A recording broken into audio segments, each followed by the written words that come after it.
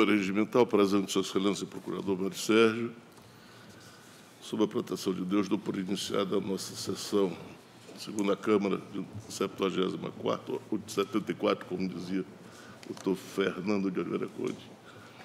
E, não havendo ata a ser lida, eu passo a pauta de julgamento de processo. E como os processos primeiros são de minha relatoria, eu, ouvido no procurador meus ilustres pares, eu peço o julgamento em bloco dos processos de número 1 a 23, por correlação aos julgamentos anteriores, os pilotos, excelência procurador, doutor Mário Sérgio. Bom dia a todos. É, prossiga, excelência. Ao Concordamos. Conselheiro, ao conselheiro Ronald Polanco. Da mesma forma. Conselheira Ana Lu De Maria. acordo, senhor presidente. Agradeço, excelência. Os processos de 1 a 20 tratam-se da pauta de apura responsabilidade de 1 a 13, números é, 5, 6, 7, 8, 9, 11 e 12 é pagamento de multas, processos 3 e 13 é pagamento de multa também. E, aos- e os processos de 14 a 23 tratam todos de aposentadoria. E quero eh, certificar aos senhores que retiro de pauta para a minha instrução processo número 16 da pauta. E, como já falei de relatórios havendo similaridade aos anteriores, eu passo a palavra à sua excelência o procurador Mário Sérgio. Obrigado, excelência. Senhor presidente e demais conselheiros. O primeiro processo da ordem trata de descumprimento à resolução 87, eh, visto um atraso de mais de sete meses do prazo de entrega da matéria. Portanto, neste caso, propomos multa ao implicado. O, mesmo, eh, o segundo processo trata de descumprimento da mesma normativa, apresentado se referia aos ao segundo bimestre e primeiro quadrimestre de 2017 e foi apresentado em 4 de agosto de 2017. Portanto, também propomos multa. O terceiro processo da ordem, a matéria não foi enviada e também é caso de multa, a nosso entender. O processo de ordem 4, relativo a fevereiro de 2018, do Instituto de Administração Penitenciária, eh, tratava de descumprimento da resolução 102, mas percebeu-se durante o, o trâmite que houve o envio da matéria de maneira tempestiva e, neste caso, a nossa proposição é de arquivamento dos autos. Processo 5 eh, trata de contratação irregular em Sena Madureira, de responsabilidade do senhor Raimundo de Souza da Silva, e causou dano de R$ 288,26, razão porque propomos? É, o ressarcimento desse valor, mais multa acessória e multa sanção, a sua inabilitação na forma do artigo 91 da Lei Orgânica da Corte e envio do, do assunto ao MP. Do mesmo modo, o processo seguinte, de ordem 6, é também da responsabilidade do senhor José Raimundo de Souza por contratação ilegal, causou dano de R$ 1.509,03, razão porque é essa a, a, a quantia pela qual pedimos ressarcimento ao município, mais multa acessória em cima do valor e multa sanção, inabilitação na forma do artigo 91 da Lei Orgânica e envio do caso ao MP. Processo seguinte, também de contratação irregular naquele âmbito, causou dano de R$ 570,59 e a pro- procuradora Ana propõe ressarcimento mais as multas acessória e sanção. O, o outro, mesmo assunto, ressarcimento propomos de contra o senhor José Raimundo de Souza da Silva, ex-prefeito de Sena Madureira, de 285 reais, mais multas, inabilitação não só deste, como do senhor Nilson Roberto Ariel de Almeida e envio do caso ao MP. Processo número 9, ressarcimento. Tratando do mesmo assunto, também de Sena Madureira. Propomos ressarcimento por prejuízos da ordem de R$ 256,32, mais multas.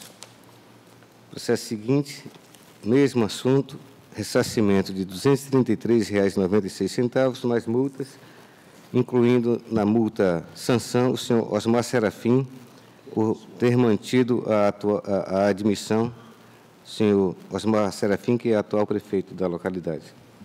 Processo seguinte, mesmíssimo assunto, ressarcimento de R$ 81,20, multas, sanção e acessória, inabilitação do senhor José Raimundo de Souza da Silva e envio do assunto ao Ministério Público.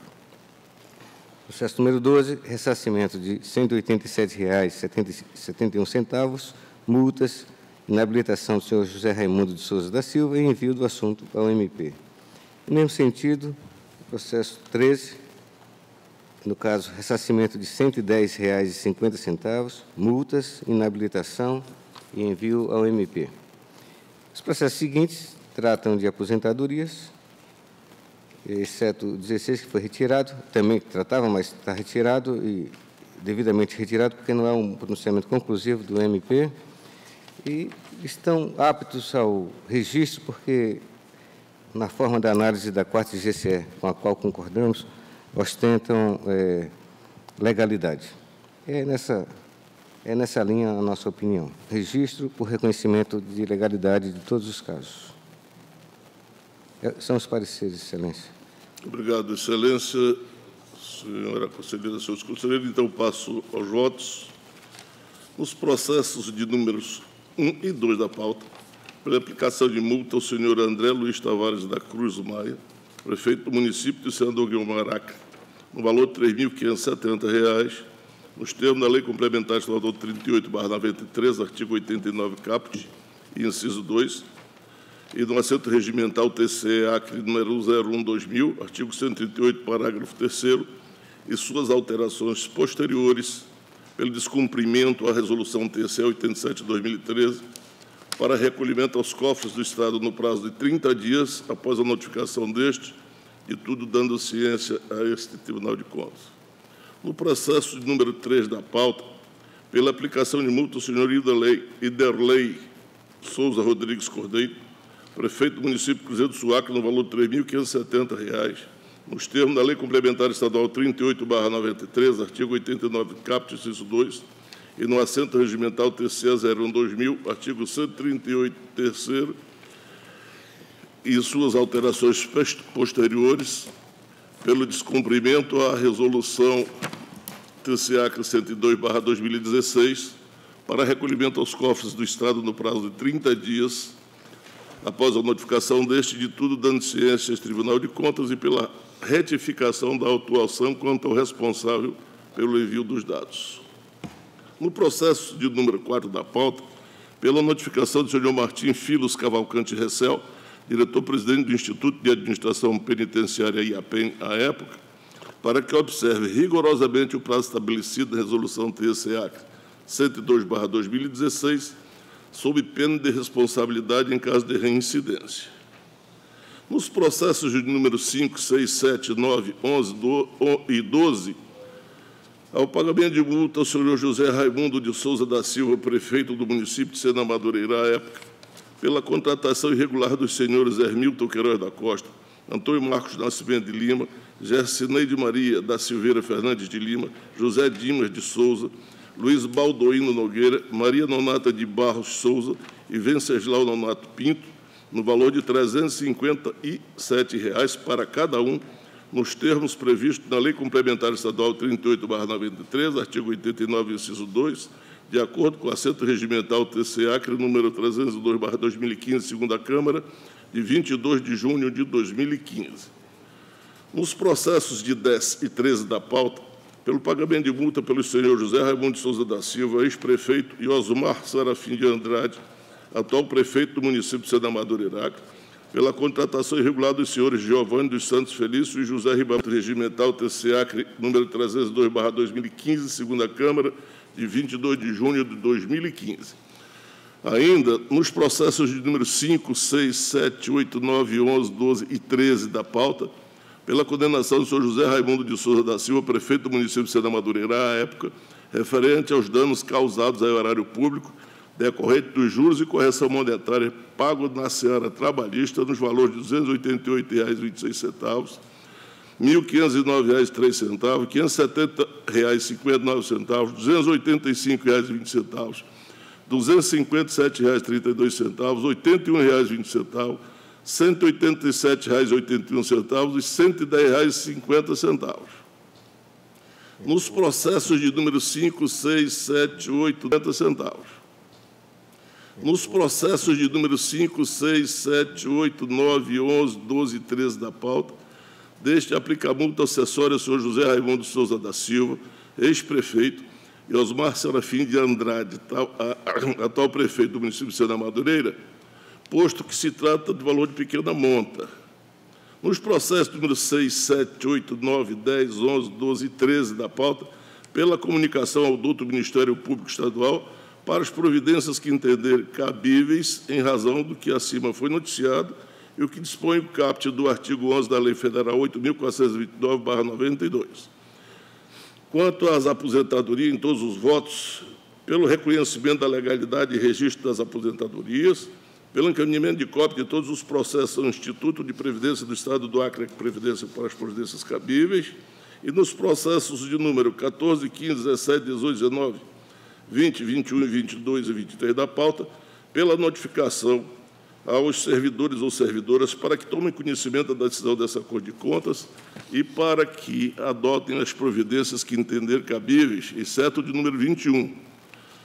Nos processos número 14 a 23 da pauta, pela comunicação sindicato da categoria dos servidores ou servidoras para conhecimento e providências que entenderem necessárias junto ao Instituto de Previdência do Estado do Acre, a Previdência, exceto o número 22 e 23. Sem mais considerações, depois de cumprida a formalidade de estilo, pelo arquivamento de todos os processos da pauta, excelências, é, são os meus votos. E põe votação pela ordem o conselheiro Ronald Polanco. Senhor presidente, eu acompanho os, os votos seus da, é, no julgamento do número da pauta 1, 2, 3, 4, até o quarto. É, acompanho o voto plenamente do processo 5, 6, 7, 8, 9, 10, 11 e 12, apenas acompanho pela multa de 357 reais, sem, a, sem as devoluções. É, nos demais processos é, de aposentadoria, eu acompanho o seu entendimento e também não é, nos processos da multa de 357 reais, eu não acompanho o seu entendimento de encaminhar ao Ministério Público Estadual é, o, o, os, a, o, julga, o, resultado do julgamento aqui. É o meu voto, senhor presidente. Conselheira Nalu Maria. Senhor presidente, quero aproveitar e cumprimentá-lo, cumprimentar também o doutor Mário, a Érica, Polanco, todos que estão aqui na sessão. E eu também tenho o mesmo voto do conselheiro Polanco, é, no sentido da, somente da multa e sempre é, da multa de 357. 357. As outras, as multas de 3.570, né? Pelo Isso. Eu, a gente é o mesmo voto. Né?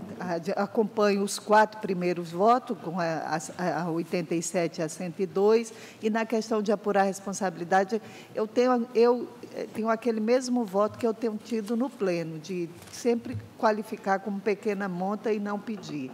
E aí, no caso, só pedir a multa. E no caso da, das, das aposentadoria também voto com o senhor.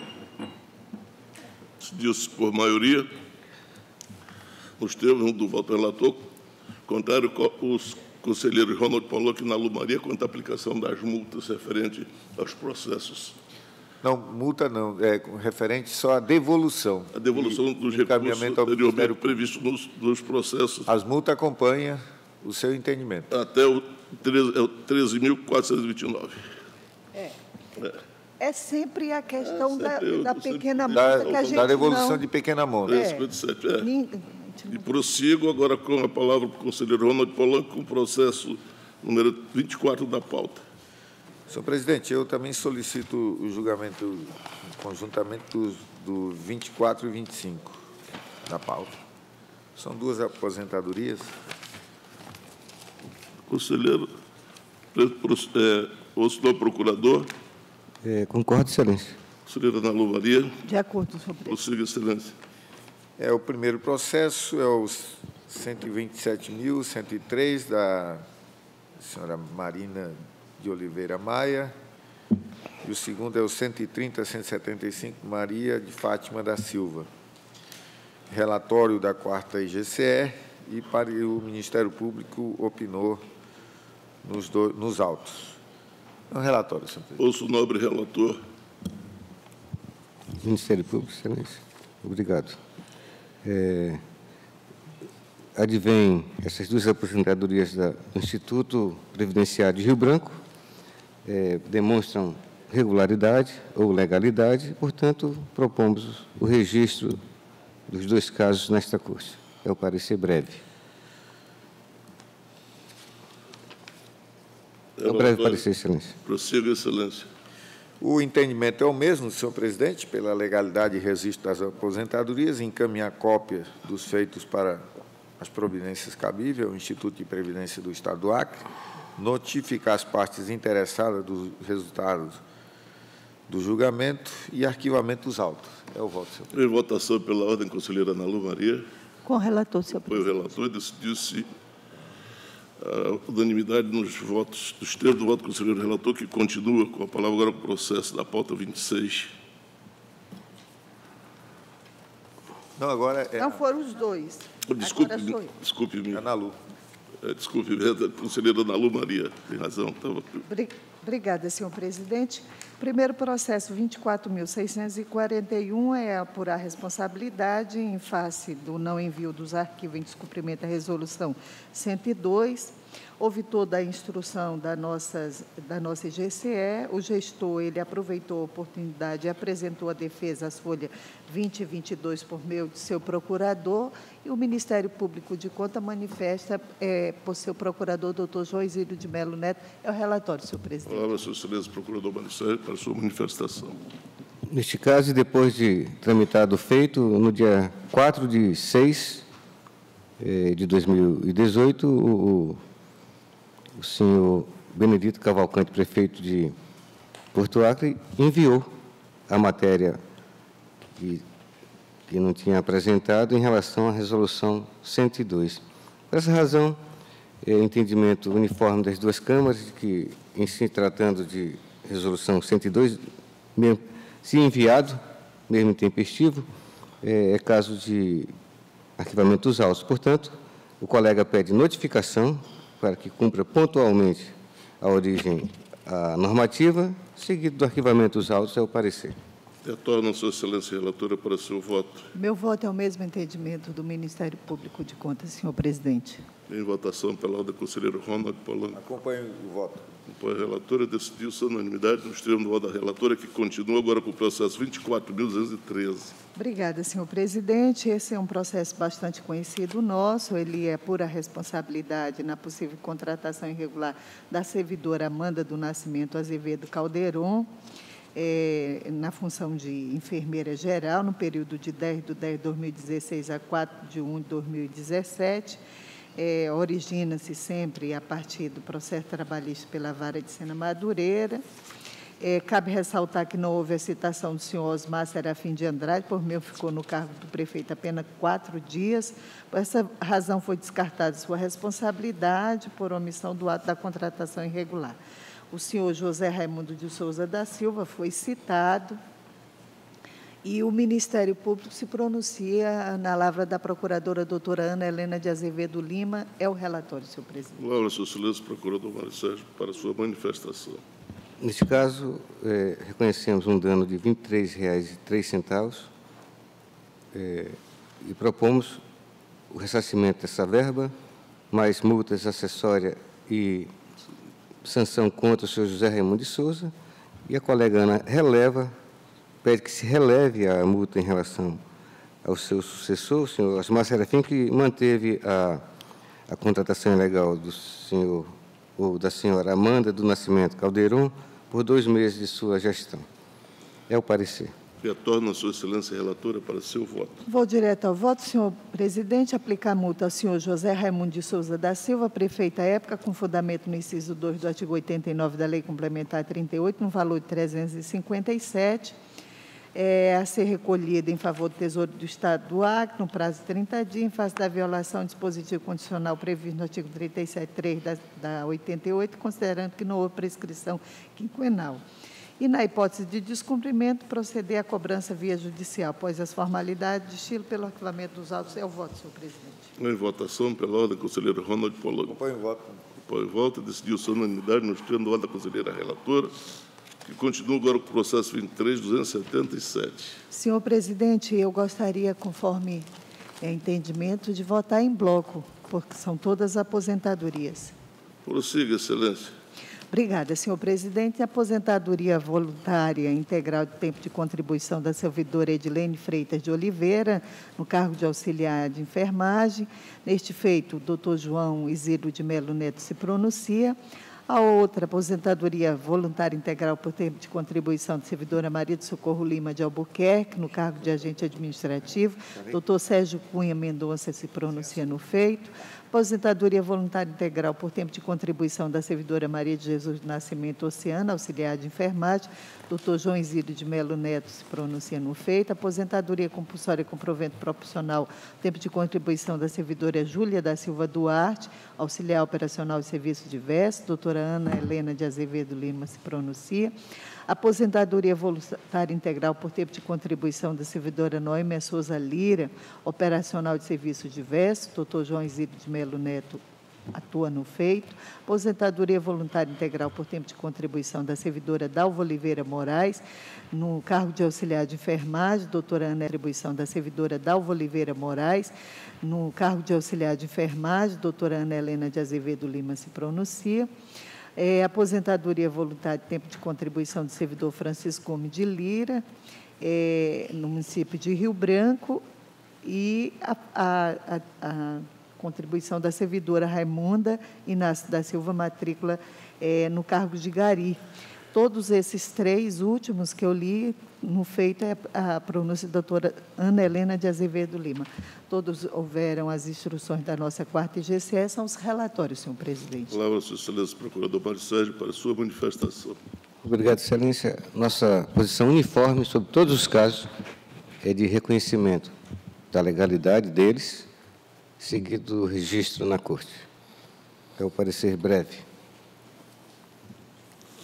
O parecer, Excelência. Muito obrigado. Retorno a Sua Excelência Relatora para seus votos. Obrigada, senhor presidente. Assim sendo voto pela legalidade e registro das aposentadorias, notificação das servidoras e do servidor para tomar conhecimento dessas decisões, encaminhamento de cópia do processo ao Instituto de Previdência do Estado do Acre, Previdência e do, do Instituto de Previdência de Rio Branco para as providências cabíveis, após a formalidade de estilo pelo arquivamento dos autos, são os votos, senhor presidente. Em votação pela ordem, conselheiro Ronaldo Polanco. Acompanho o voto, presidente. Acompanho o voto e decidiu sua unanimidade nos termos do voto da conselheira relatora.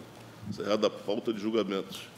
Não havendo expediente, eu passo as comunicações e faculto a palavra ao novo procurador Mário Sérgio. Obrigado, Excelência. Mais nada a comunicar. Conselheiro Ronald Polanco. Da mesma forma, senhor, nada. Senhora Ana Lu Maria. Senhor presidente, só lhe cumprimentar, cumprimentar a todos e, e é, desejar um, um resto de bom dia para a gente. Obrigado, Excelência, e assim sendo, agradecendo também a presença de todos. Eu dou por encerrada a presente sessão e convoco outra para dia e hora regimental.